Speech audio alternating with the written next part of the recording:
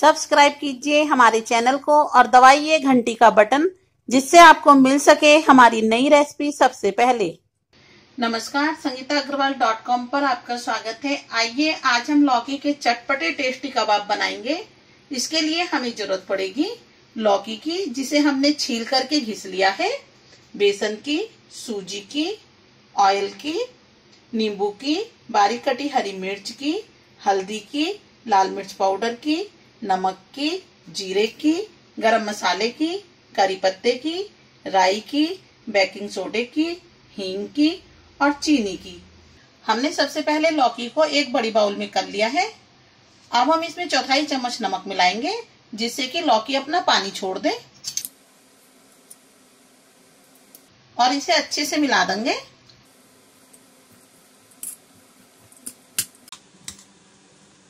अब हम इसे पाँच मिनट के लिए रख देंगे।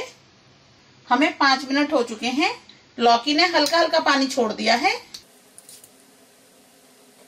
अब हम इसे निचोड़ लेंगे और एक दूसरे बर्तन में रख लेंगे। हमने लौकी को निचोड़ करके थाली में कर लिया है। अब हम इसमें दो बड़े चम्मच सूजी,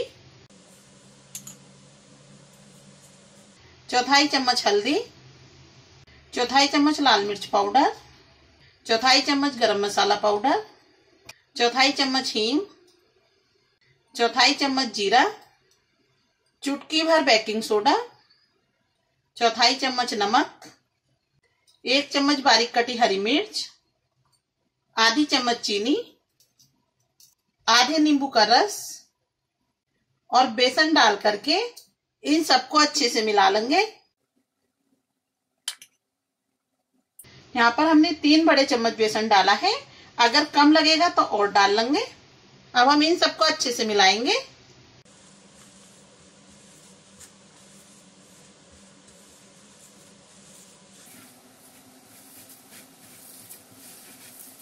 हमें इसमें पानी नहीं मिलाना है।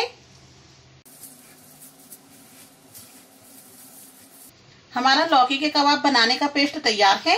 अब हम इसके रोल बनाएँगे। हमने हाथों में और चलनी के ऊपर तेल लगा लिया है। अब हम पेस्ट के कबाब बनाएँगे। पेस्ट को हाथ में लेकर के रोल करेंगे इस तरीके से। और इसे चलनी में रख देंगे। और इसी तरीके से हम सभी रोल बना लेंगे। हमने सभी पेस्ट के रोल बना लिए हैं। अब हम इन्हें पकाएँगे। अब हम एक भगोने में दो गिलास पानी गर्म होने रखेंगे।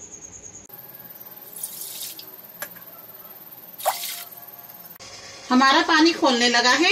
अब हम रोल वाली चलनी इसके ऊपर रखेंगे और इसे एक दूसरी थाली से ढक देंगे। अब हम इसे 20 से 25 मिनट तक मीडियम गैस पर पकाएँगे।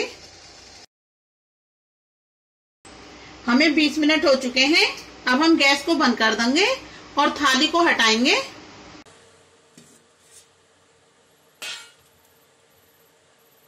अब हम चाकू की मदद से कबाब को चेक करेंगे?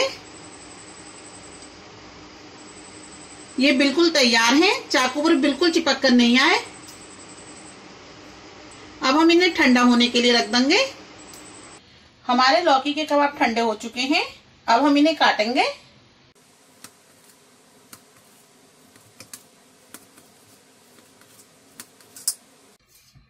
हमने सभी कबाब काट लिए हैं। अब हम इन्हें फ्राई करेंगे। हमने एक पैन को गरम कर लिया है। अब हम इसमें दो बड़े चम्मच रिफाइंड ऑयल डालेंगे। हमारा तेल गरम हो चुका है। अब हम इसमें आधा चम्मच राई, आधा चम्मच जीरा, चौथाई चम्मच हींग, बारीक कटी हरी मिर्च, चौथाई चम्मच लाल मिर्च पाउडर और करी पत्ता डालेंगे। अब हम इसमें कटे हुए लौकी के कबाब डालेंगे।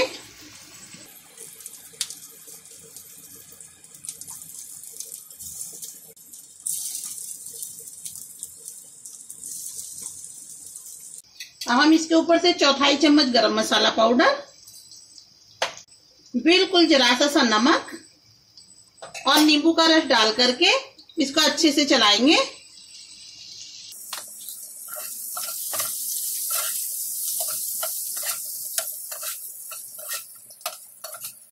हमें इन्हें मीडियम गैस पर दो से तीन मिनट तक पकाना है।